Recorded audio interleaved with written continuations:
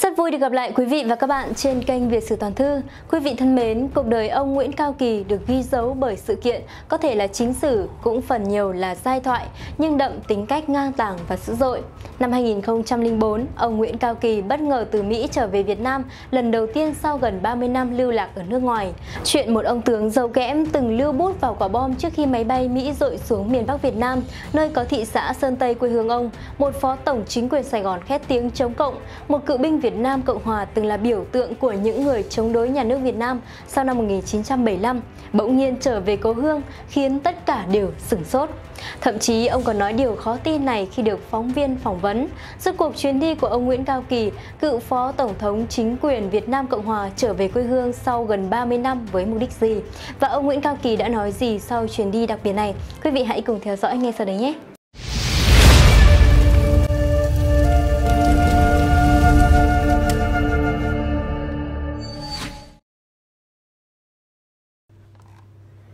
Ông Nguyễn Cao Kỳ từng giữ cương vị Thủ tướng giai đoạn 1965 đến 1967 và Phó Tổng thống giai đoạn 1967 đến 1971 của chính quyền Việt Nam Cộng Hòa.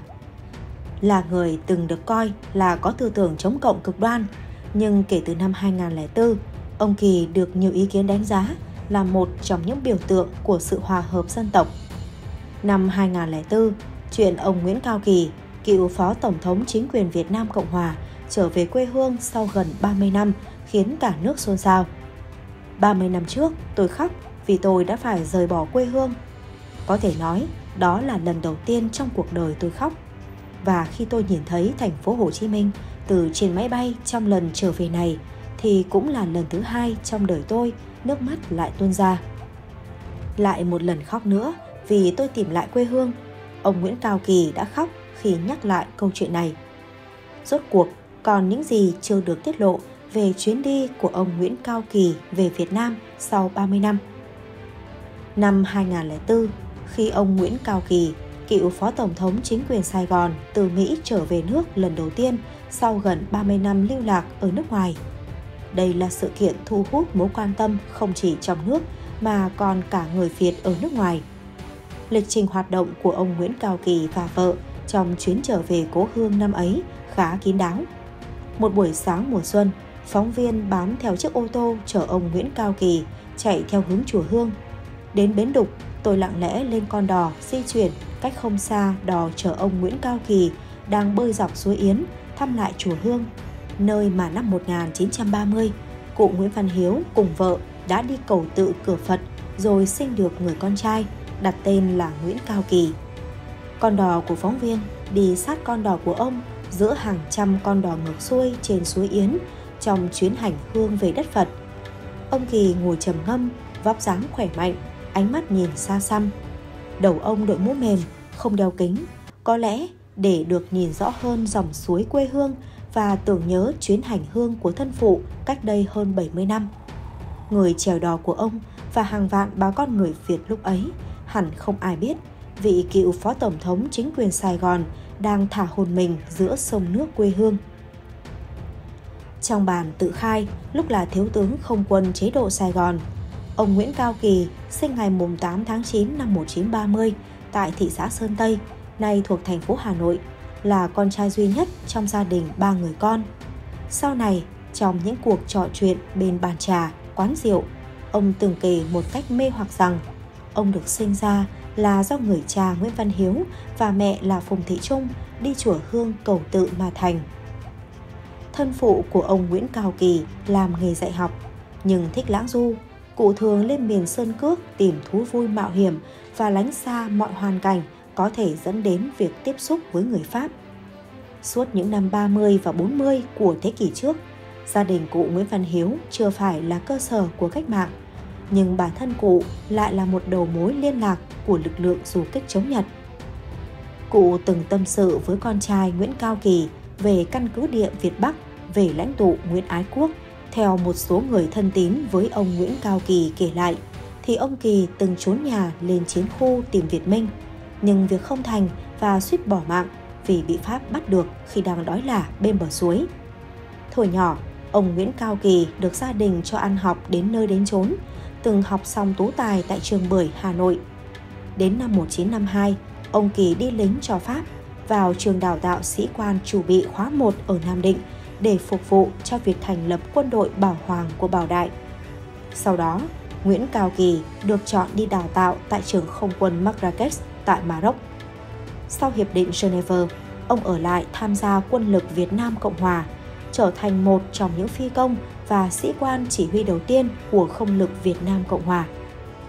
Khi đảo chính năm 1963 nổ ra, ông đứng về lực lượng đảo chính, nắm quyền chỉ huy không quân, tạo áp lực buộc lực lượng trung thành với Tổng thống Ngô Đình Diệm phải đầu hàng. Sau cuộc đảo chính, Nguyễn Cao Kỳ thăng chức nhanh chóng. Ông trở thành tư lệnh không quân, mang hàm thiếu tướng và là ủy viên của Hội đồng Quân nhân Cách mạng. Tư cách ủy viên hội đồng tiếp tục là cơ hội để ông có bước tiến mới về chính trị. Tướng Kỳ càng nổi lên tại chính trường Sài Gòn sau cuộc đàn áp đấu tranh của Phật giáo và mưu toàn ly khai của tướng Nguyễn Chánh Thi ở miền Trung năm 1965. Năm 1967, ông cùng với tướng Nguyễn Văn Thiệu ứng cử và đắc cử Phó Tổng thống Việt Nam Cộng Hòa nhiệm kỳ 1967 đến 1971. Tướng Nguyễn Cao Kỳ rút lui khỏi vòng bầu cử Tổng thống năm 1971 của chính quyền Sài Gòn, vốn được các nhà chính trị đương thời nhìn nhận như một trò hề chính trị. Cho tới nay, nhiều người sống ở miền Nam trước năm 1975 vẫn truyền tụng giai thoại tướng Kỳ dâu kẽm tự lái máy bay riêng bay sát sàn sạt khu vực trung tâm Sài Gòn, nơi trụ sở hãng hàng không Air Việt Nam gần trụ sở Ủy ban Nhân dân thành phố bây giờ để thả thư tỏ tình cầu hôn với cô tiếp viên Hoa Khôi Đặng Tuyết Mai. Trong tự sự của mình, ông Kỳ viết Cuộc hôn nhân đầu tiên của tôi với một người phụ nữ Pháp và chúng tôi đã có năm đứa con với nhau đã kết thúc bằng sự ly thân và tiếp theo đó chúng tôi đã ly dị. Sau khi ly dị với vợ tôi, theo lời của một nhà báo, tôi đã được hưởng 2 năm hết sức sôi động của một người có số đào hoa. Có lẽ tôi không cần phải đính chính là sự nhận xét trên đã được phóng đại như thế nào. Và thực ra, tôi cũng đã vui chơi nhiều và thoải mái trong lúc bấy giờ, bởi vì tất cả chúng tôi đều không biết sống chết ngày nào và cần phải sống vội khi mình được sống. Năm 1962, ông Kỳ chia tay với bà vợ người Pháp sau khi đã có với nhau 5 người con. Hai năm sau, ông kết duyên với bà Đặng Tuyết Mai. Ngày 29 tháng 4 năm 1975, trước thắng lợi của quân đội nhân dân Việt Nam, tướng Nguyễn Cao Kỳ tự lái máy bay trực thăng ra hàng không mẫu hạm Midway, bắt đầu chuỗi ngày phải sống lưu vong. Từ Bộ Tổng tham mưu Quân lực Việt Nam Cộng Hòa, Thiếu tướng Nguyễn Cao Kỳ đã dùng trực thăng UH-1 do chính mình lái đưa vợ con ra tàu sân bay Midway của Mỹ để rời khỏi Việt Nam. Sau khi đến Mỹ, ông lần lượt định cư qua các nơi Fairfax, bang Virginia, New Orleans, bang Louisiana, Seattle, bang Washington State, Hacienda High, bang California và Houston, bang Texas. Ở Mỹ một thời gian, ông Kỳ và bà Mai chia tay. Theo lời tư thuật của ông với báo chí, trong những lần trở về Việt Nam, ông kiếm sống bằng cách đi làm thuê trong hơn 10 năm đầu sống trên đất Mỹ. Kể từ năm 2004, ông Nguyễn Cao Kỳ đã về Việt Nam 4 lần. Vợ cũ của ông, bà Đặng Tuyết Mai và con gái ông Nguyễn Cao Kỳ Duyên cũng nhiều lần về thăm quê hương. Bà Đặng Bếp Mai đã mở quán phở ta tại số 12-14 đường Lê Quý Đôn, quận 3, thành phố Hồ Chí Minh. Bà Nguyễn Cao Kỳ Duyên mở một quán cà phê lớn ngay bên cạnh sông Hàn tại thành phố Đà Nẵng. Khi trở về Việt Nam, ông được nhiều cấp cao của Việt Nam đón tiếp. Đó là những người có trọng trách bên nhà nước, chính phủ, quốc hội và cả mặt trận tổ quốc tiếp trọng thị. Với nhiều phóng viên có mặt tại khách sạn Sheraton, thành phố Hồ Chí Minh vào chiều ngày 15 tháng 1 năm 2004 là một ngày đặc biệt. Trong chuyến lần đầu trở về Việt Nam kể từ năm 1975, ông Nguyễn Cao Kỳ đã có buổi trò chuyện với giới báo chí trong và ngoài nước. Đây là lần đầu tiên tôi trở về Việt Nam sau 30 năm. Còn 2 tuần nữa tôi bước sang tuổi 75. Ông Kỳ mở đầu câu chuyện. 30 năm trước, tôi khóc vì tôi phải rời bỏ quê hương. Có thể nói đó là lần đầu tiên trong cuộc đời tôi khóc. Và khi tôi nhìn thấy thành phố Hồ Chí Minh từ trên máy bay trong lần trở về này thì cũng là lần thứ hai trong đời tôi nước mắt lại tuôn ra lại một lần khóc nữa vì tôi tìm lại quê hương. Ông Nguyễn Cao Kỳ đã khóc khi nhắc lại câu chuyện này. Rất có thể nếu ông Nguyễn Cao Kỳ không bị Pháp bắt lại trong chuyến bò chương 10 lên chiến khu theo Việt Minh, thì cuộc đời ông đã đi theo một hướng khác. Nói thế để thấy rằng, khi xem xét nguyện vọng của ông và nhiều bà con ta ở Mỹ về thăm quê, các cơ quan chức năng Việt Nam hẳn đã lưu ý đến những chi tiết thời thế này. Cùng theo dòng thời gian, nhiều người trong chúng ta và cả bà con sang Mỹ, sang nhiều nước khác sau ngày 30 tháng 4 năm 1975 càng thêm hiểu hoàn cảnh khách quan của lịch sử, những biến thiên của cuộc đời mỗi con người. Nhiều người hiểu ngày thống nhất đất nước là chiến thắng chung của cả dân tộc, chiến thắng ngoại bang đô hộ. Lòng người chung khát vọng dân tộc là trường tồn, đất mẹ là thiêng liêng. Vì thế, chúng ta mới dễ hiểu khi đón tiếp ông Nguyễn Cao Kỳ trong chuyến trở lại cố hương lần đầu tiên. Nhiều đồng chí lãnh đạo cấp cao đều tỏ rõ sự mến khách nhất quán tinh thần đại đoàn kết dân tộc, khép lại quá khứ, hướng tới tương lai. Một đồng chí lãnh đạo đã cởi áo để uống tới bến với người con cầu tự đất Sơn Tây. Trong bữa cơm thân mật có cả lẩu rau cần, lẩu sáng chùa hương. Ông Phạm Thế Duyệt, Chủ tịch Ủy ban Trung ương Mặt trận Tổ quốc Việt Nam, nâng cốc bia hơi nói với ông Nguyễn Cao Kỳ.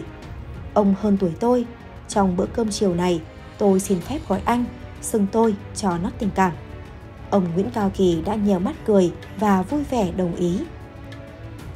Không chỉ thời điểm ông Nguyễn Cao Kỳ trở về thăm quê hương, mà trước đó nữa, bà con người Việt ở nước ngoài, kể cả những người một thủa phía bên kia cầm súng khác, thời Lưu Quang Vũ đã vượt qua lời nguyền để trở về Tổ quốc. Một số cựu lãnh đạo từng có vị trí cao của chế độ Việt Nam Cộng Hòa tâm sự mới đây với một kiều bào bạn tôi ở Mỹ – Chúng tôi không sợ mất nhà mất cửa. Điều chúng tôi thấy thỏa lòng là đất nước thống nhất. Vì kiểu gì cũng phải thống nhất. Phía miền Bắc làm được điều đó. Chúng tôi chấp nhận vì Tổ quốc là của chung. Như thế, có một không khí thân thiện, một tâm hồn hóa giải, một suy nghĩ hòa hợp lan truyền trong tâm thế của mọi người Việt Nam nói chung. Người Việt không biên giới, tiếng Việt muôn nơi tựu một tấm lòng, tất cả đã và sẽ hướng về cội nguồn. Những năm gần đây, bà con người Việt trên khắp thế giới về thăm quê hương ngày càng đông. Nhiều kiều bào tâm sự với tôi rằng, khi họ vừa bước xuống sân bay quê nhà, lòng bỗng trào dâng cảm xúc yêu ra giết tổ quốc mình, thấy mình có điểm tựa vô hình mà vững chãi, thấy tự tin mình là người Việt Nam, điều mà bao năm bôn ba ở xứ người chưa từng có cảm giác ấy. Nhiều lần, kiều bào ta được nhà nước tổ chức ra thăm Trường Sa, được hòa vào tiếng sóng Biển Đông chạm tay vào cột mốc để cùng tin tưởng, cùng bảo vệ chủ quyền của Tổ quốc thiêng liêng. Nhiều bà con nước ta ở nước ngoài khi đến các đảo đá, nhà sàn ở Trường Sa đã xúc động ôm chặt những người lính đảo, tin tưởng hơn vào ý chí và quyết tâm của Đảng, nhà nước và nhân dân ta, kiên quyết kiên trì bảo vệ từng tất đất, từng khoảng trời, vùng biển, từng thấm máu ông cha ta giữ gìn lại cho ta.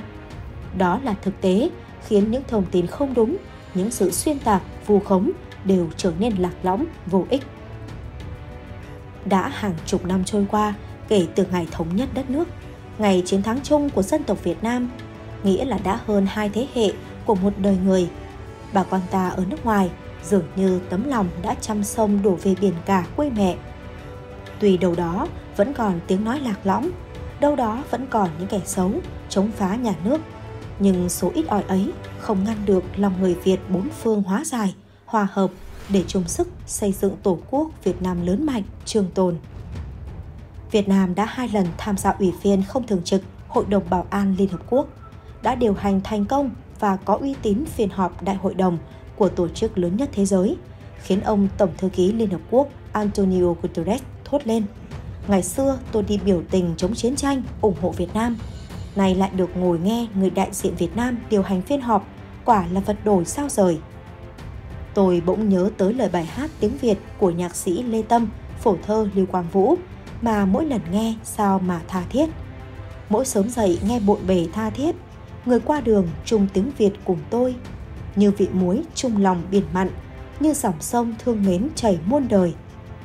Lại nhớ lời một nhà văn nào đó từng nói, Người ta có thể đưa một con người ra khỏi quê hương, nhưng không ai có thể đưa quê hương ra khỏi một con người. Quý vị thân mến, trước câu hỏi của phóng viên về việc ông Kỳ có kế hoạch gì ở Việt Nam để thể hiện mong muốn dùng chuyến đi của mình để biểu lộ tinh thần hòa hợp dân tộc, ông Kỳ trả lời, tôi nghĩ rằng riêng sự hiện diện của mình ở đây đã là một hành động rất rõ ràng. Nhiều kiều bào tâm sự khi họ vừa bước xuống sân bay quê nhà, bỗng trào dâng cảm xúc yêu quê hương ra diết, thấy mình có điểm tựa vô hình mà vững chãi, thấy tự tin mình là người Việt Nam, điều mà bao năm buôn ba ở xứ người chưa từng có cảm giác ấy. Cảm ơn quý vị đã quan tâm theo dõi, xin kính chào hẹn gặp lại.